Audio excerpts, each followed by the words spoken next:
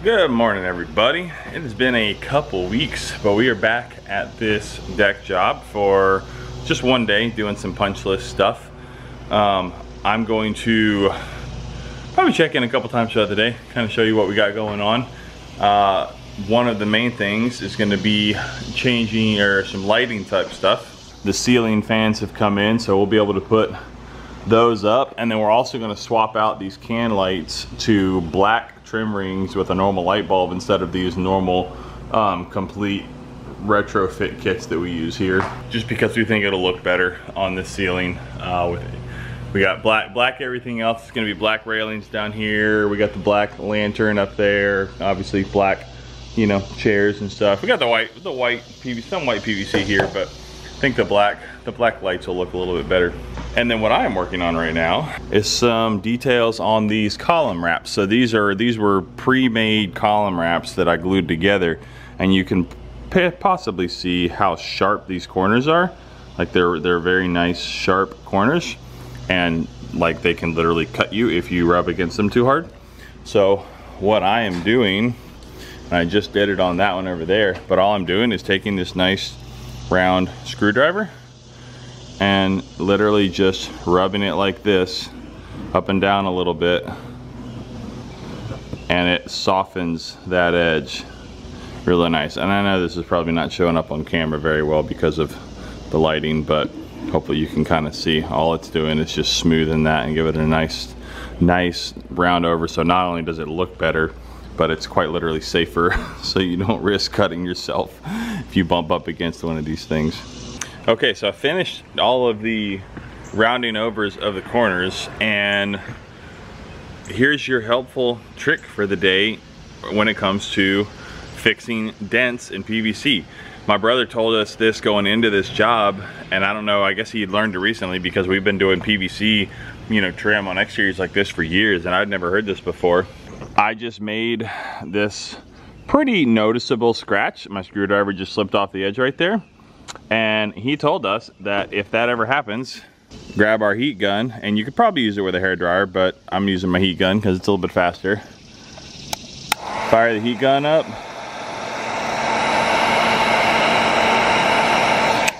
And just like that, the heat expands the PVC back out. So it literally in five seconds made that huge scratch go away.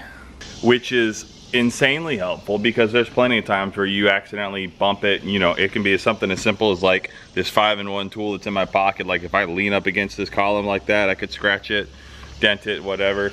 That's a pretty helpful hint to have in your back pocket for when you're working with stuff like that because we're not planning on painting any of this. It's it's PVC it doesn't need to be painted to protect it.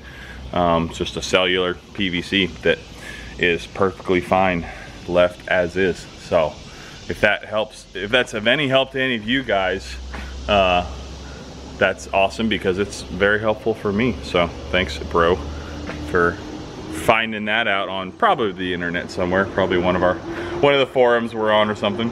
All right, it's the end of the day. Quick check-in. So we got um, my guy Matt did our did our high heat paint on the the fire brick inside here, so that all looks really good now. It's not quite as bright and shiny uh, in real life as the camera makes it look and it'll dry down a little bit more too once it's actually fully dry. But that looks really good and we're still waiting on the hearth to come in as well. But we got the base of the fireplace line all cleaned up as well as up at the top so that all looks really good. We got the new black trim kits installed or trim rings Got the ceiling fans. It's coming together. And we also obviously pulled up all of the ram boards so you can finally see what this deck actually looks like. We are still waiting on some more plugs to finish. We ran out, uh, so we're still waiting on a few more to finish this board and the one tread on the stairs, but you can see the overall finished look now. And it looks so good. Got that last tread board done. So now we're just waiting on the railings go in um, next Monday. It's a Tuesday right now. Railings go in next Monday and then final inspection day after And then next Friday, so about a week and a half from now, uh, we are gonna be back to do the TV and the mantle and a little bit more grading and some backfill and that kind of stuff to actually finish this thing up. All right, guys, it is a few months later, but we are back because this deck is finally complete. I wasn't actually here for the very last day. Uh, one of our other crews was here wrapping up a couple things because I was busy on another job, so I wasn't here to finish it up.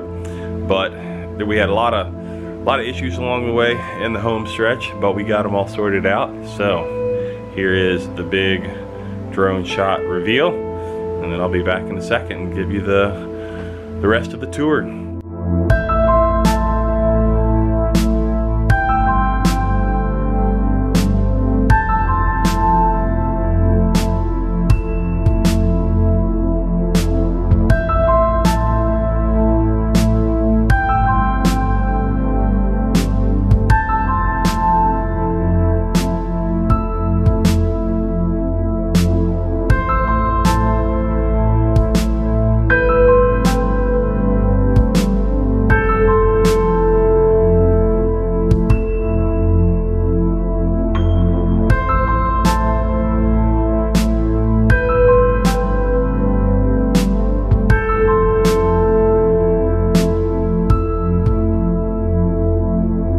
So as you can clearly see by all of the Christmas decorations, it is, in fact, I honestly don't remember. It's quite a few months after the last time I was here. Uh, it is early December now.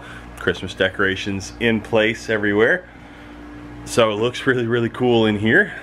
Show you around a little bit. So there's a lot of things that haven't changed a ton since the last time we were here. Uh, I don't think we had the Hearthstone in place last time we were here, but that was uh, that was a whole lot of fun to get in place. It's a two inch thick bluestone and we actually had to borrow a pretty sizable torch because we had to cut it to length. And so this whole side right here was just, you know, smooth from us cutting it with the saw.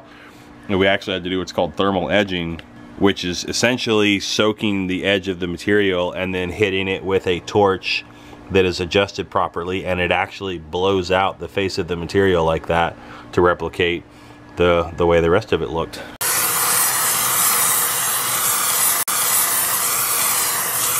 So that was a first and it ended up looking pretty awesome, I think. And uh, I don't think we had the mantle up last time either. I'm going off memory. I don't remember what was in the rest of this video because I edited it a little while back and then never came back to finish it. So uh, you'll have to forgive me if I'm, you know, repeating things that you've already seen in the first part of this video. But here's the mantle. Uh, it is the same material with the same stain and finish as the timber truss up there.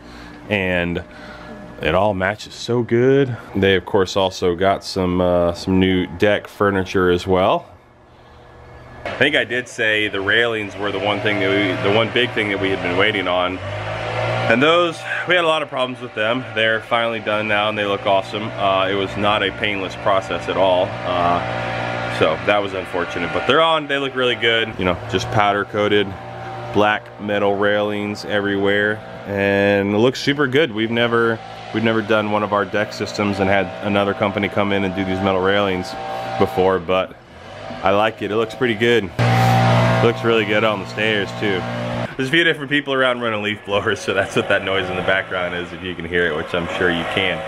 Um, but the one other thing I wanted to do while I was here, uh, blown away by the amount of people who've watched these videos for one. So if you're if you you're come back, you're this is part seven, I think. If you're you've been here for all of them, thank you so much for watching all these videos. I had no idea they were gonna blow up the way they did, which I mean for some people is nothing, but for for a little channel like mine, it's pretty crazy to see how many views this series has gotten. Um, but some people asked questions on some of the videos and I tried to answer them uh, as best I could in the comments on the individual video where the question was asked. But while I'm here, I was gonna go ahead and point out a couple things to try and answer some of the questions a little bit more thoroughly.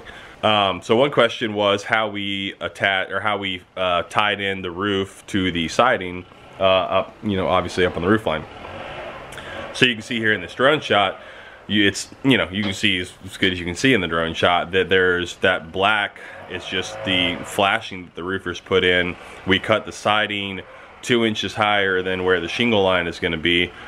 And that allows the roofers to slip their flashing up underneath of that siding and it keeps the siding up off of the deck so that it doesn't, or uh, excuse me, it keeps the siding up off the shingles so that that cut edge of the siding doesn't stay wet, it can dry out, it won't collect as much junk as if it's, you know, tight down to the shingles.